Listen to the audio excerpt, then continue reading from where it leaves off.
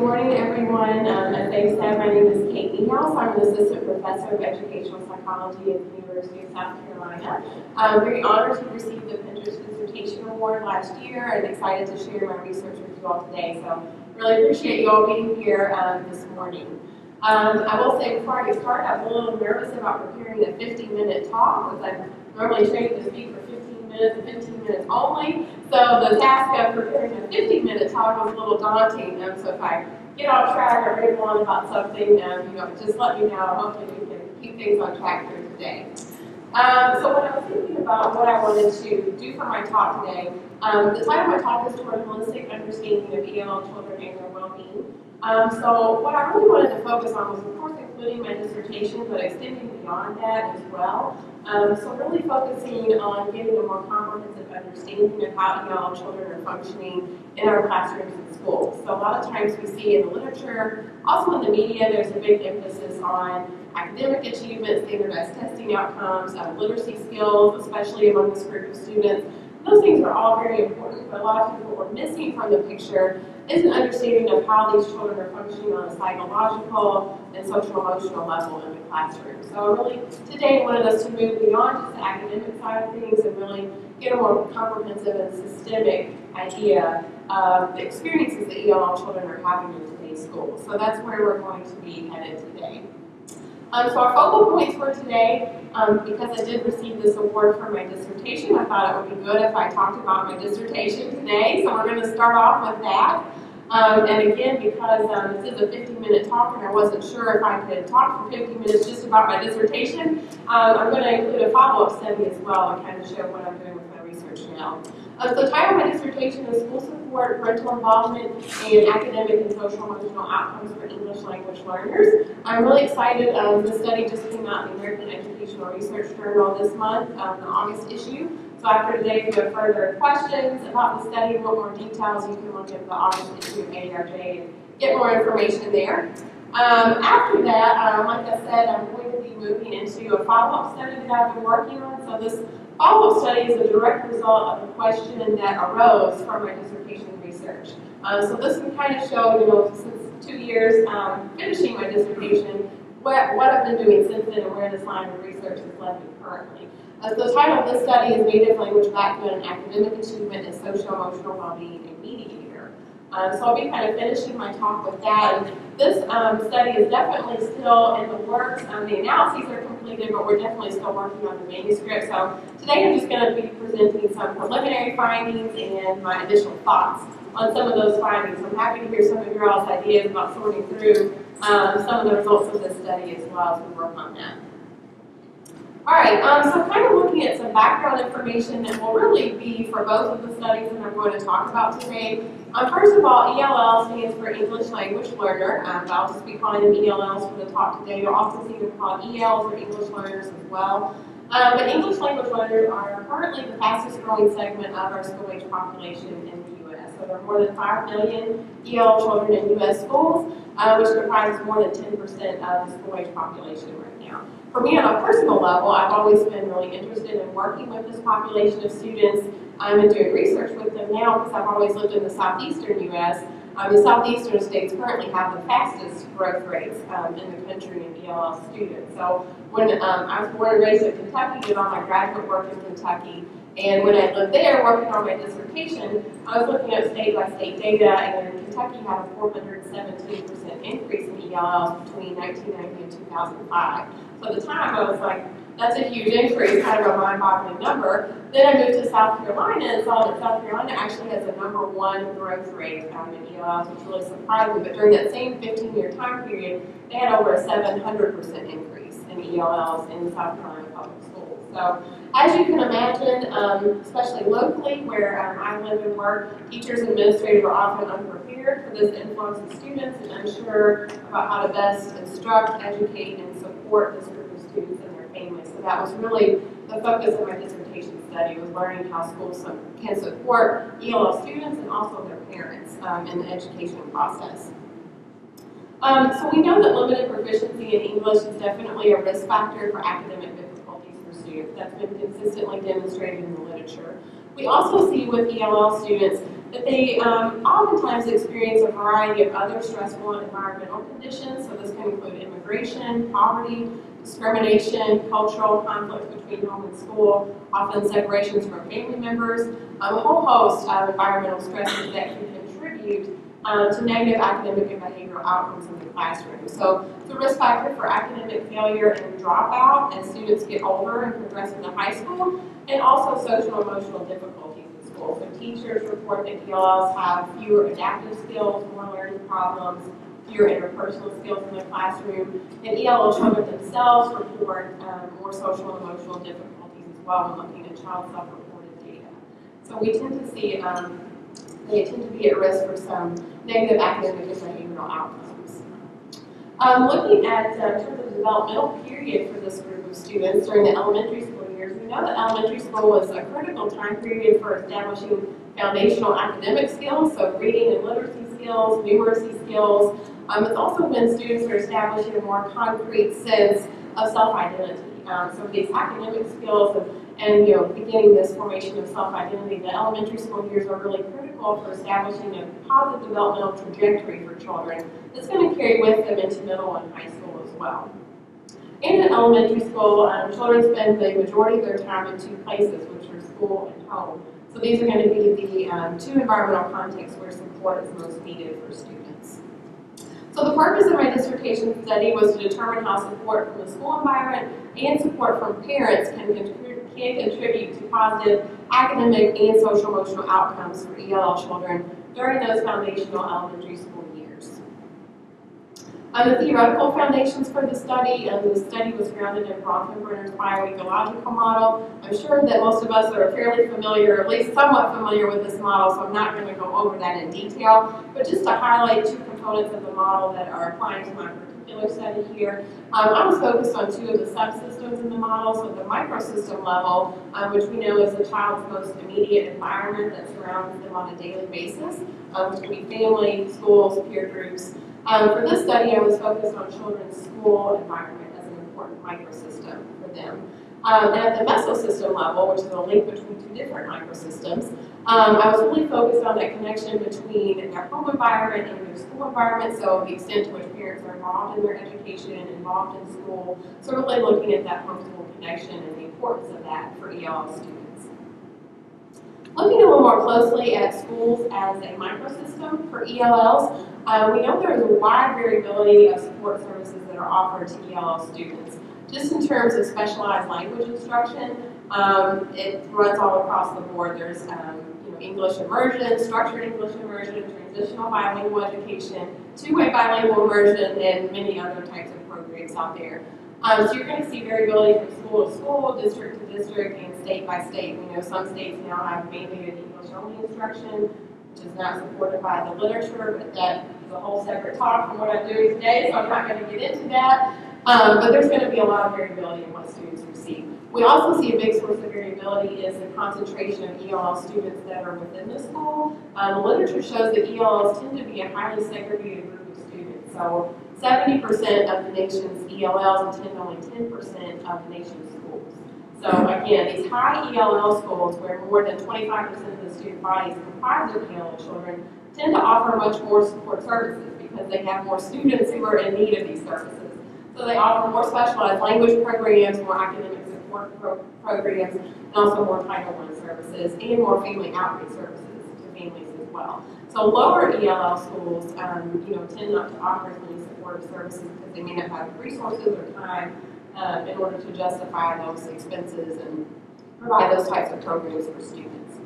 We also see um, the past decade or so, a couple of national studies have been done to kind of detail the current state of EL education. These have been descriptive studies. Um, they've identified several areas of concern. Um, so one, more and more EL children are receiving no type of specialized support programs at school at all. The students who are receiving some type of support program, program are most often being taught in English only. And teachers receive very little training um, and instruction in working so we see some areas of concern here, but what we don't know is how these support services or lack thereof are actually linked to student outcomes. We kind of know what's being offered to students, what's going on in the schools, but we don't really know how that connects to student outcomes, um, outcomes at the actual student level. So that was really the focus of my dissertation study was to get some data linking services and academic behavioral outcomes together. Looking at the homeschool mesosystem, um, we all know that parental involvement is important. That's been consistently demonstrated in the literature as well. We tend to think of parental involvement as being important for academic outcomes, which it definitely is. Um, but what we're seeing in recent years in the literature as well is that it's also really important for social emotional well-being for students, which makes sense if you think about um, the extent that parents and teachers are communicating. They're often communicating just as often or perhaps more frequently about social, behavioral, emotional issues in the classroom as they are about academic tasks. So to the extent that parents and teachers can work together to address social, emotional, and or behavioral issues at home and at school, students are going to have more positive social emotional outcomes um, as a result of that communication. Um, so we know parental involvement is important for both academic and social emotional development for students. Um, we also see with ELL families, they can often experience a variety of barriers that may prevent them um, from being active participants in their children's education. So one, um, obviously there can be a language barrier. Many parents and families with ELL children do not speak English. Um, so that can be really difficult to communicate with teachers, to understand and fill out paperwork that's sent from the school, to help their children with homework in the evenings. All those things can be a real challenge for ELL families. Um, we also see logistical issues, so childcare, transportation, um, work schedules that can make it difficult to be more involved in um, children's education. And then one thing probably most important to, men to mention is the way that ELL families are often viewed by teachers in schools. So oftentimes we see, you know, for families who are uninvolved, teachers or schools may view them as uncaring or they don't value their children's education, which in fact we typically see the opposite in the literature for ELL families. We see that they have high educational aspirations for their children, and they do place a high value on education for their students.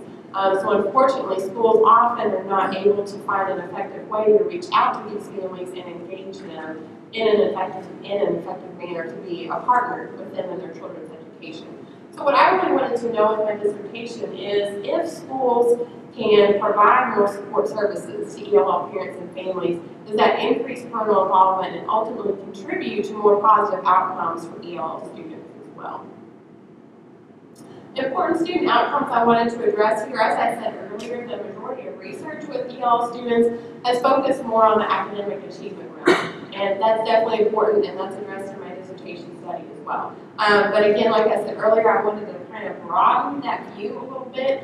Um, and we know two other areas, well, among others, that are important to students' educational success are their self-beliefs, for example, academic self-concept, and their social-emotional well-being in the classroom. So I wanted to include both of those variables as important to student outcomes and to look at how they relate to ELL's academic achievement as well. So my research questions, um, number one is a higher level of school support for ELL students and families associated with more positive academic and social emotional outcomes at the student level. Two is the relationship between school support and ELL student outcomes mediated by parental school involvement. And three, how do EL children's perceived academic and social emotional skills relate to, relate to their actual levels of achievement in the classroom? So the participants uh, were drawn from the Early Childhood Longitudinal Study Kindergarten Cohort of 1998. Really long name, I'll just be calling it ECLSK, um, so that'll be easier to pronounce. Um, there were approximately 1,020 third grade ELLs who were included in the study. I did use the restricted use data files because I was looking at support services and small samples of students, and those um, data were restricted. 87% um, of the students were Spanish-speaking Hispanic ELLs, 50% female, and 97% attended public schools. Um, to identify language status, and this was identified at kindergarten entry, um, students who had a non-English home language were administered the Oral Language Development Scale, which is the OLDS, and if they scored below the cut point of 37 points on this instrument, they were identified as having limited proficiency in English and were included as ELLs in my dissertation study. The measures that I used, um, I used parent interviews to measure parental school involvement. We use teacher surveys to measure um, actual, um, if students were receiving the types of services that were typically provided to ELL students in the classroom, and also teachers' level of training and experience in working with ELL students. We use school administrator surveys um, to measure the outreach services that were provided to ELL families by the schools, and also to get a measure of school level control variables that needed to be included in the study, for example, school size, the percentage of ELL students at the school, etc. Um, and for direct child assessment to measure academic achievement, we used reading and mathematics IRT scores, and these were from direct cognitive assessments that were administered by the ECLSK researchers to all participants um, in the ECLSK study. And we used the adaptive self-description questionnaire one to measure academic self-concept and also social emotional problems by a child self-report. The data analyses, um, we use Mplus statistical software. Because we have missing data for students, parents, teachers, and school administrators, um, we ended up using multiple imputation to impute 10 data sets to make sure that our analyses were not biased by the varying levels of missing data we had across, performance. Um, we use the appropriate sampling weight um, for the ECLSK data and the type equals complex analysis setting. So using the complex analysis setting accounts for the nested structure of the ECLSK data, so students are nested within classrooms and within schools. Uh, the complex analysis setting adjusts the standard errors in the model to account for the non-independence of observation. So that was important to use as well. Um, we use structural equation modeling, or SEM, to build a hybrid model, which essentially means we started with the measurement model to make sure we were measuring the latent constructs well, um, they were a good fit to the data and conceptually made sense. And then we added in regression paths um, to test direct effects in the model to build the full structural model. Um, to test mediation paths, we used the ProdClin program. Um, the ProdClin program um, adjusts for the fact that the mediation pathway for the indirect effect is the product of two different paths that has a non-normal distribution. So it computes a 95% asymmetric confidence interval, accounting for the non-normal distribution of the indirect effect. So here's the structural model um, that I tested here, and you'll see all of the control variables are not included in the image because you wouldn't be able to read that otherwise, so I've just listed them on the side here. But you'll see school support and parental involvement um, on the left side there, and then the three student outcomes, academic achievement, academic self-concept, and social emotional problems are listed on the right-hand side. There are direct paths from school support to parental involvement in three student outcome variables, also direct paths from parental involvement to the three student outcome variables, and then finally, um, we looked at correlational paths among the three student outcomes as well to see how they were interrelated. For the school level control variables, we control for school type, so whether it's a public or private school, uh, the school enrollment size, if the school is designated as a Title I school, the percentage of ethnic minority students in the school, and the percentage of ELL students in the school. Um, for student controls, um, Hispanic ELL served as a reference group because they were the majority of the sample. We created dummy codes for Asian Pacific Islander um, racial background students and also students from other racial and ethnic backgrounds. We controlled for socioeconomic status, students' grade level in school, their previous mathematics and reading achievement in first grade, and finally, child ESL measured the extent to which the child actually was receiving language support in the third grade. Um, and then the model fits, you can see the RMSE was 0.02, CFI was 0.943, so it fell within the acceptable range uh, for the model fit indices. So important findings, um, there were lots of different findings that came out of this. I'm kind of hitting some of the highlights here today.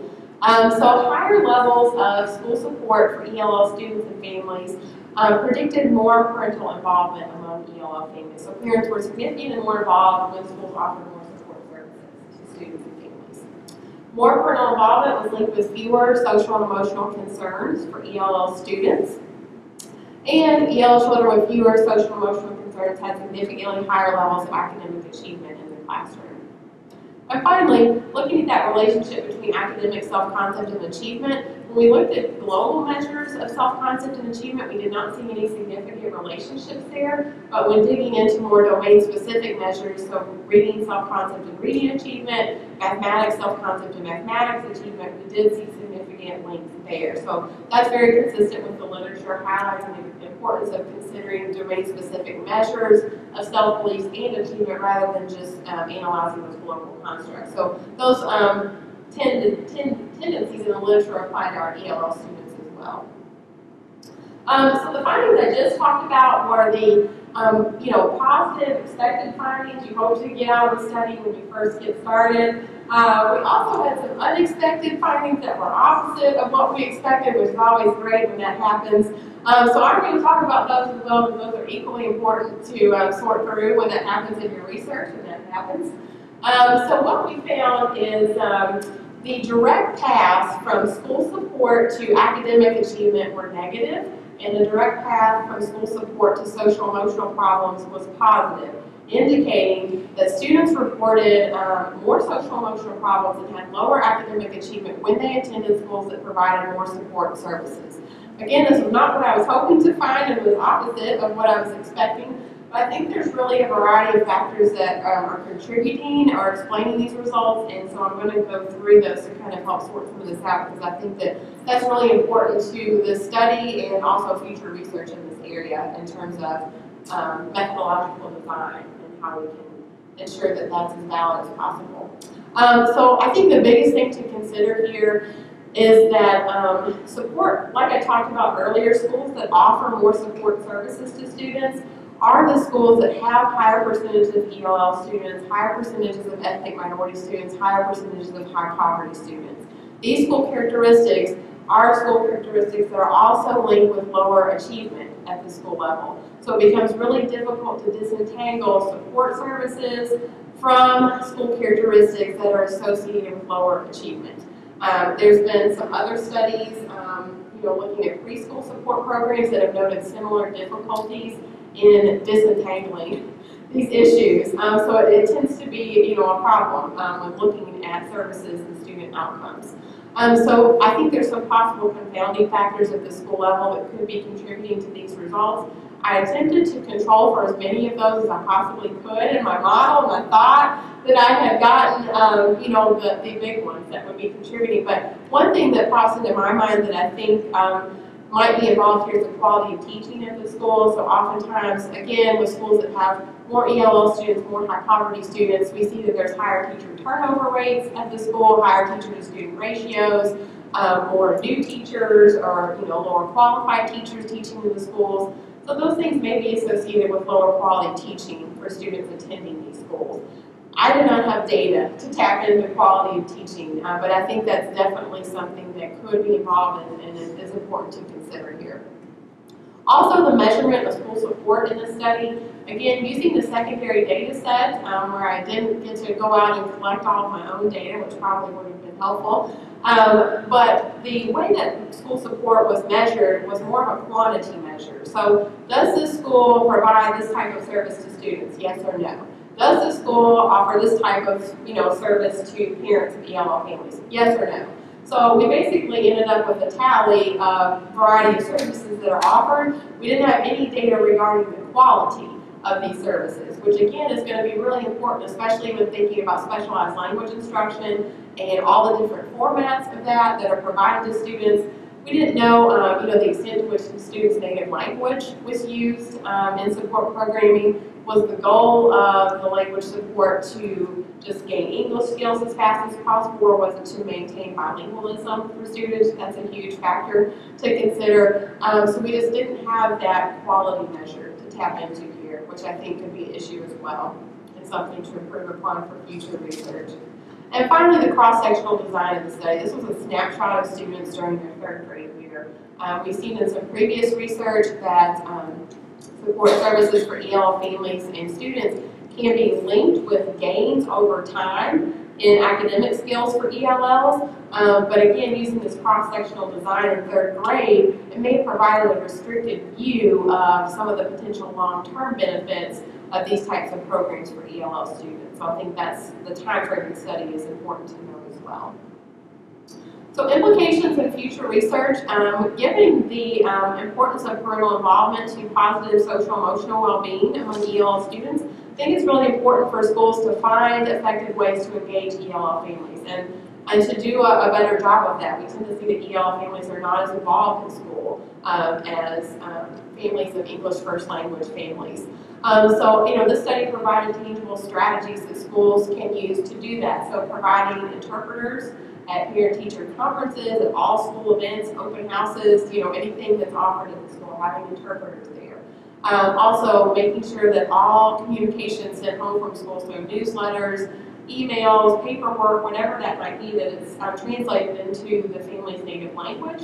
And also offering, um, you know, orientations and special meetings for ELL families throughout the year. So those were the particular variables that were included in this study, and again, tangible strategies that schools can use to foster higher parental involvement.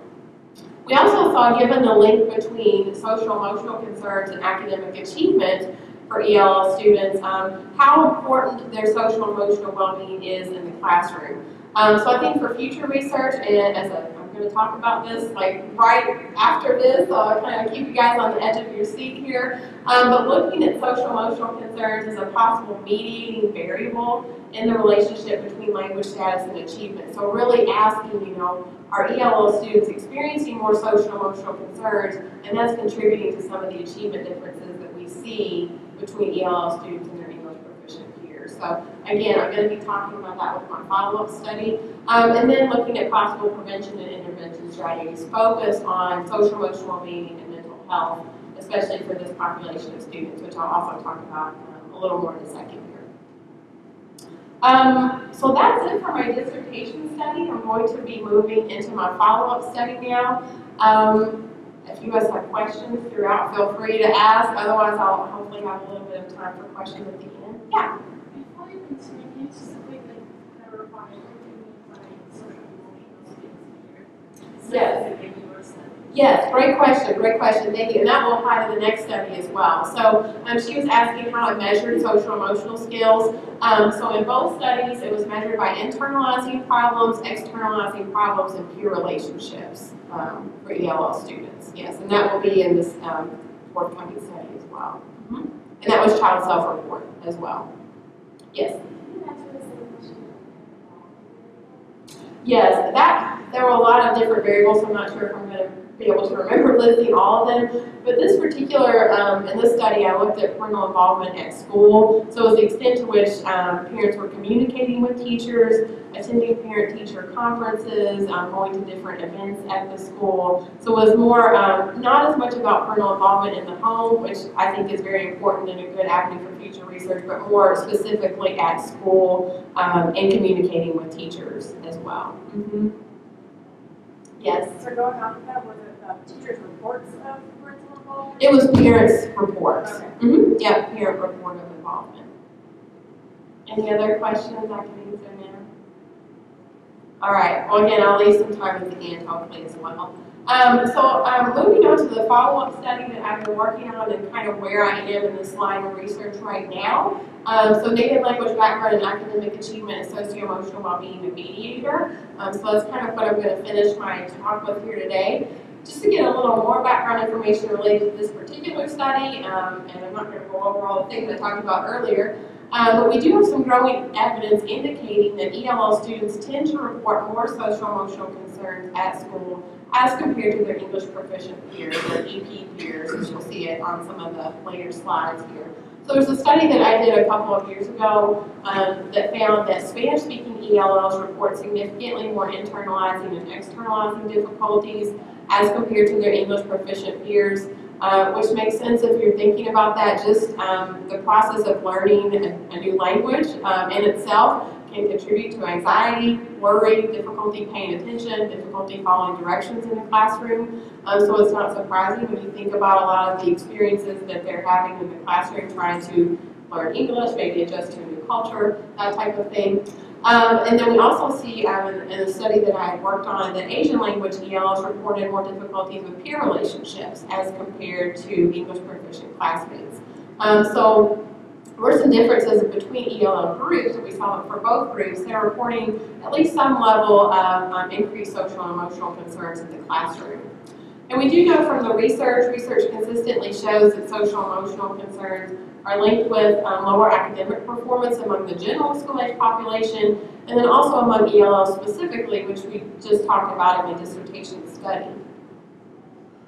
To date, however, no research has examined the um, potential role of social emotional well-being as a mediating variable in this relationship between language status and achievement. So what we're really talking about here is looking at this relationship between language status and achievement. So whether students are ELL or EP and their academic performance in school, there are a multitude of factors that are going to be involved in those achievement differences that we tend to see. We tend to see across the board ELLs do have lower academic achievement um, than English proficient students. And again, there could be a variety of factors that are contributing here. So um, poverty, EL students tend to experience higher poverty rates than English proficient students do. Um, language fluency is definitely an issue. Um, different cultural um, immigration issues that might be involved. There's a whole host of factors that we need to consider there. But what I'm wondering here is if social emotional well-being is one piece of that puzzle um, that could partially be contributing to achievement differences between the two groups.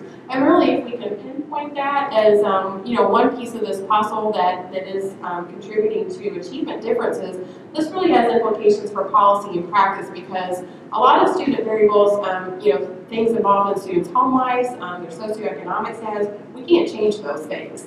Um, but socio-emotional well-being is a malleable variable, which means schools can work to promote social-emotional well-being and psychological health among students. So I think that's a really important finding um, for both research and then practice moving forward in this area.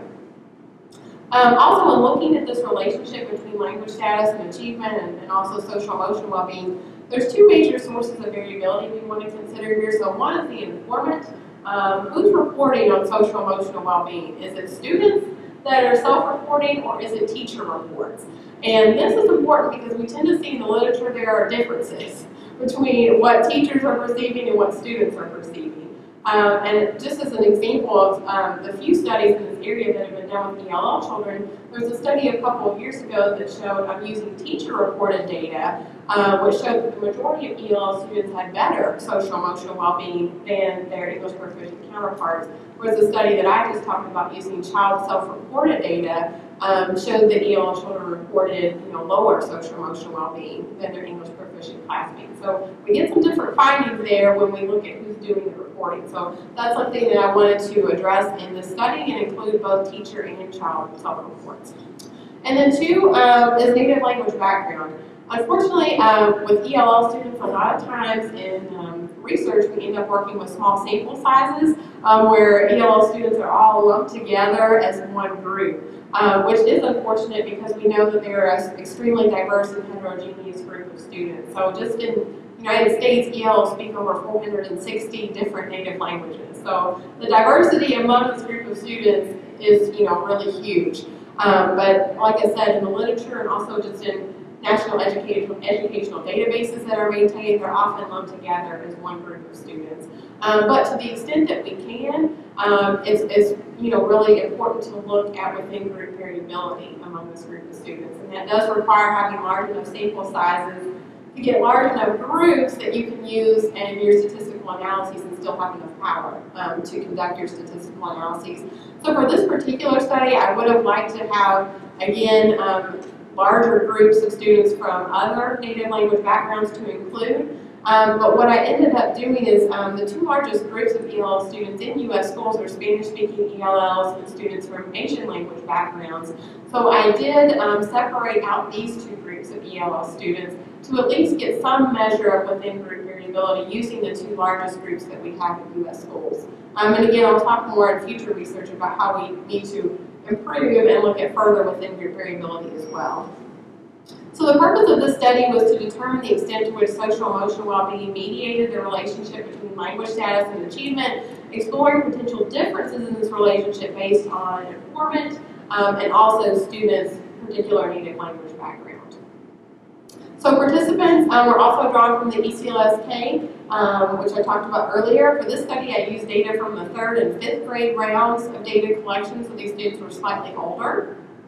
Um, students were identified as EL or EP based on their primary home language that was listed in their school records.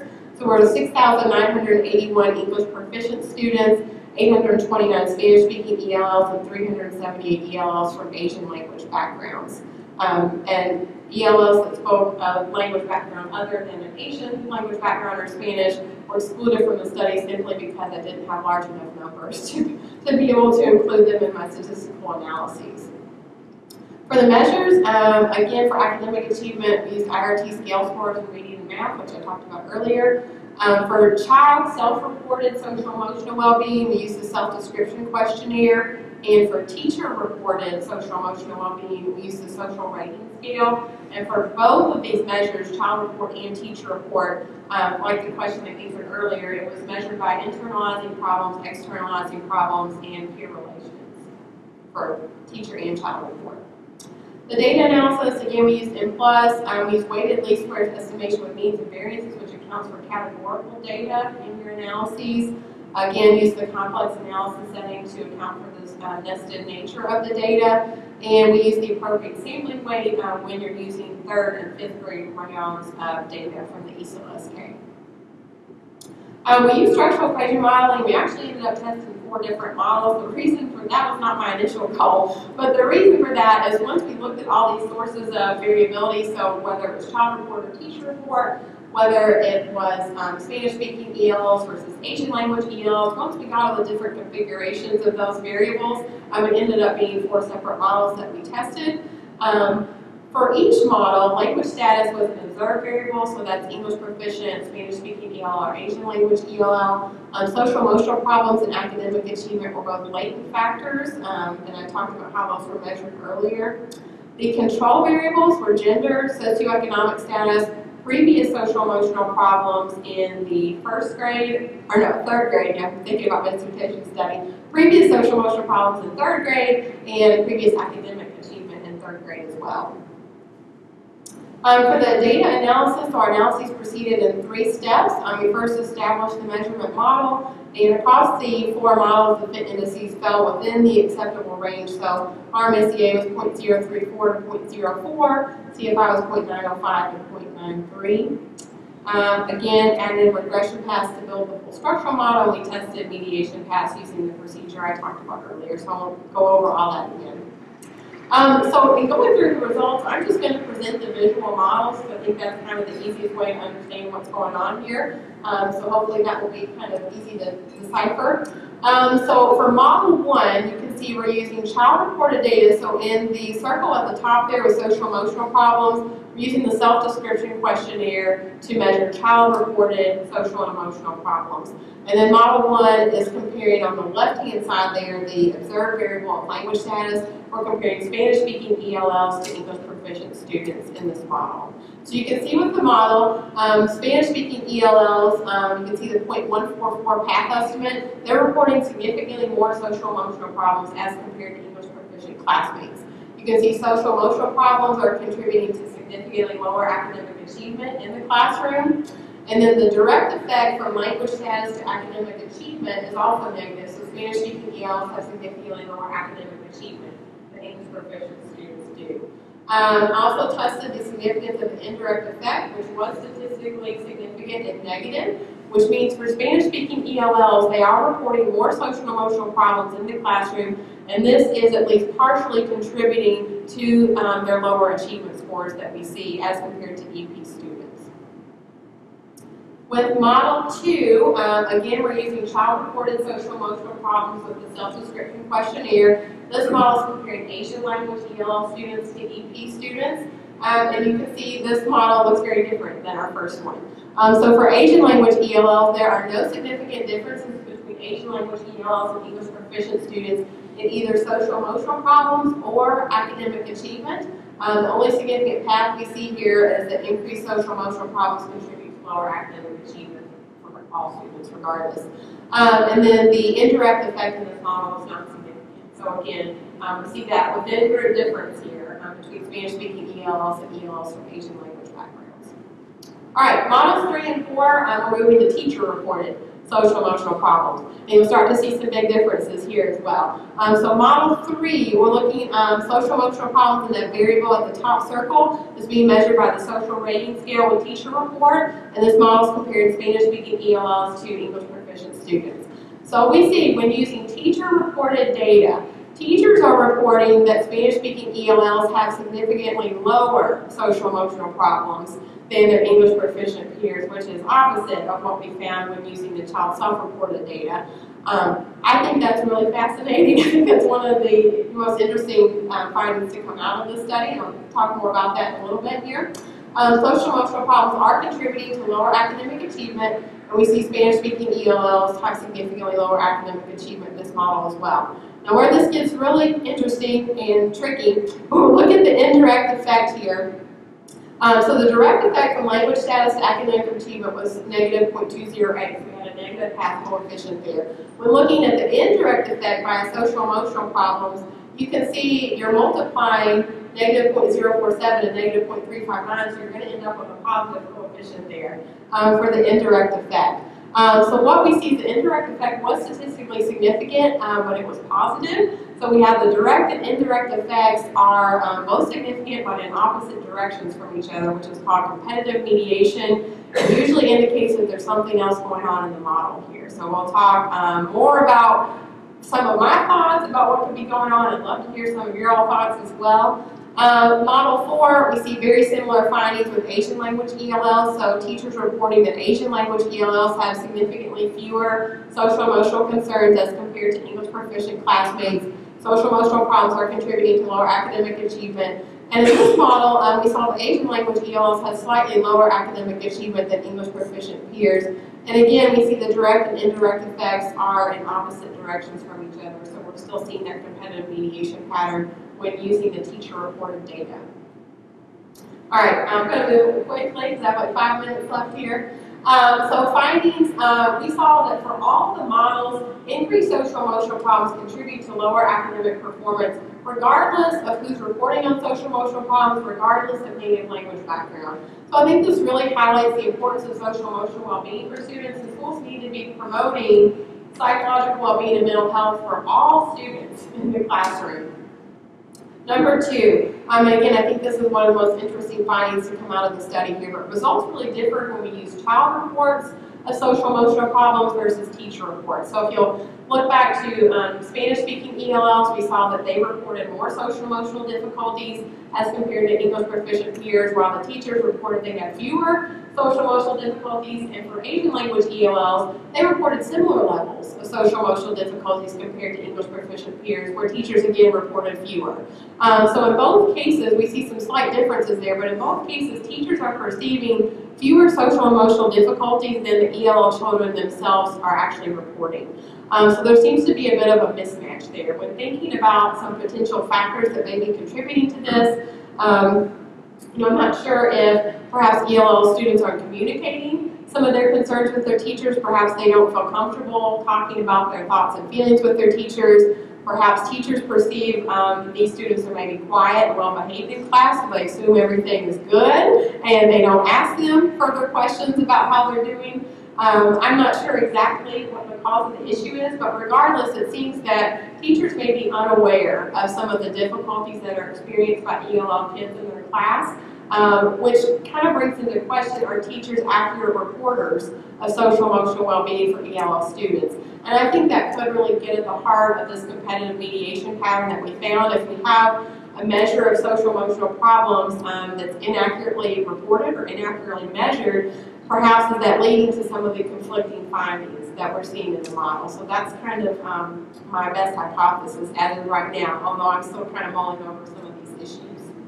Um, number three, we saw that results differed when considering Spanish-speaking ELLs versus Asian language ELLs. So we saw that social emotional well-being mediated the relationship between language status and achievement for Spanish-speaking ELLs, but this was not the case for the students from Asian language backgrounds.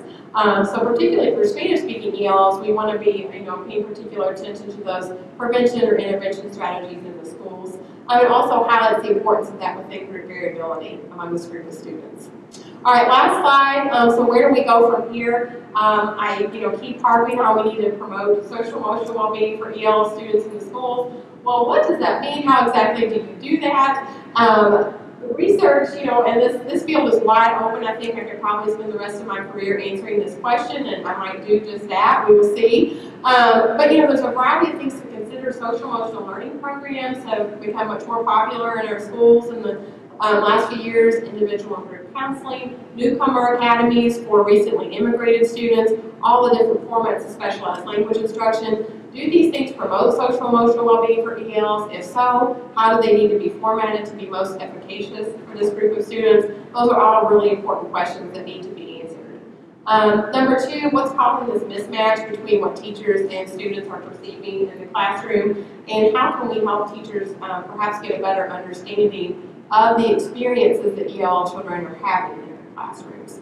And then number three, beyond the two language groups I looked at today, again, the Spanish um, ELLs and ELs from Asian language backgrounds, how can we look at more nuanced sources of within variability? Definitely including students from other native language backgrounds and getting large enough samples to be able to do that. But beyond native language background, what are other sources of within group we need to consider in our analyses and also um, at a practical level in working with students in classrooms and schools. So that's all that I have for today. I have some references and here's my contact information. Um, I'd love to chat if any of you are interested um, in the studies or in collaborating, please let me know. And thank you all so much for being here this morning. I appreciate it.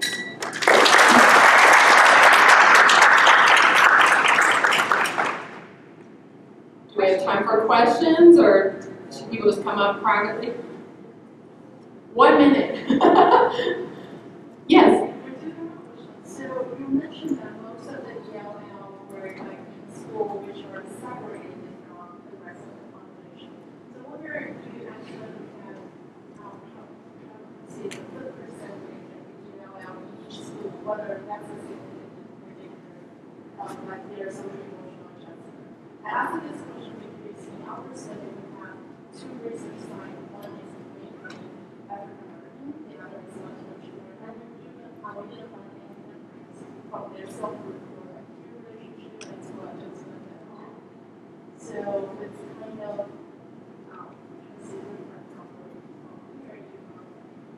beyond of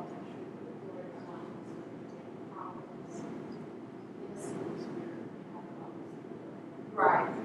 I did um, include the percentage of ELL students in the school as a school level control variable. So I didn't talk about all this today, but in the actual article, you can see um, the you know links between that variable and all the different constructs.